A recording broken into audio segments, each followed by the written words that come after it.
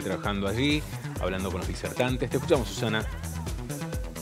Fernando Evangelina, estamos en estos momentos en uno de los salones de la Universidad Católica Argentina porque está a minutos de comenzar una charla muy interesante, sobre todo en estos tiempos, que tiene que ver con el rol de las Cáritas, que tiene que ver con eh, el rol que tiene hoy por hoy Cáritas en el Estado alemán. ¿no? Tenemos, eh, contamos con la presencia de quien es disertante esta noche, eh, el doctor Klaus Baumann, que bueno, vamos a intentar dialogar con él con la ayuda de, Pamela porque no, no habla español, eh, así que, este, bueno, en principio bienvenido.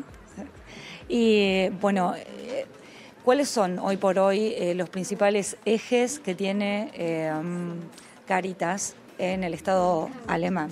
In the German state. In Germany, we have a separation between state and church. But it is a separation which also implies cooperation. En Alemania tenemos una separación entre el Estado y la Iglesia, pero también es una separación que es coordinada, trabaja, si bien son, están separados, trabajan de forma mancomunada y coordinada. Bueno, hoy eh, van a asistir varias organizaciones sociales que trabajan en la asistencia de muchos niños con dificultades, familias. ¿Cuál cree usted que este, es la principal tarea que tiene que tener una organización a la hora de emprender la ayuda social? Today we will have uh, the presence of many social organizations and of course they have some difficulties when they try to face the problems that children have or many other in, uh, persons in the in the society. So for organizations, which do you think is the main task, yes, to be successful? Well, first of all, these organizations themselves are part of society and in Germany we understand problems of society as uh, problems that is that are called to be solved by society too, and therefore civil society organizations are very important in the social system in Germany, and these organizations are very close to the problems because they come from society and they serve society. Bien, em, como las organizaciones son parte de la sociedad, en Alemania también pensamos que cuando hay un problema en la sociedad, es la misma sociedad la que lo tiene que resolver.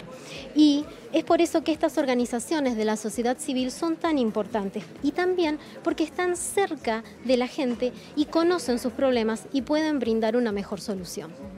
¿Qué sabe de Argentina, del problema eh, socioeconómico que estamos atravesando los argentinos.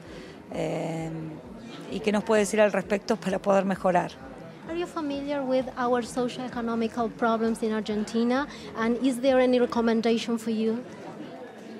I know something about it. I am not an expert of Argentina's uh, socio-economic problems.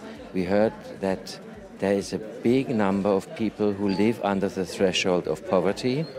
And this is a serious problem, of course, for the whole of society, and which calls the whole of society to serve more for the common good of all people.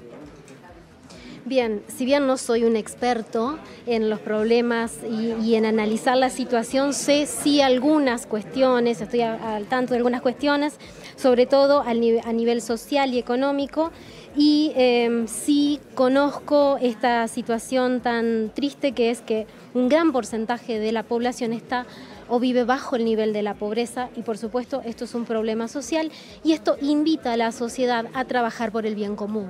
Thank you very much. You're welcome. It's a great, big pleasure and I, I love my time here in Argentina.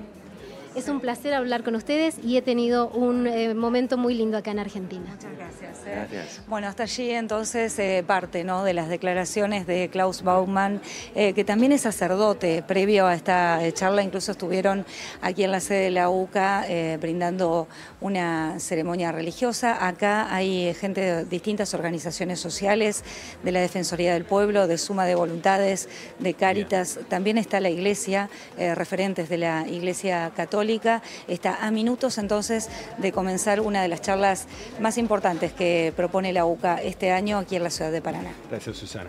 Hasta luego. Hasta luego.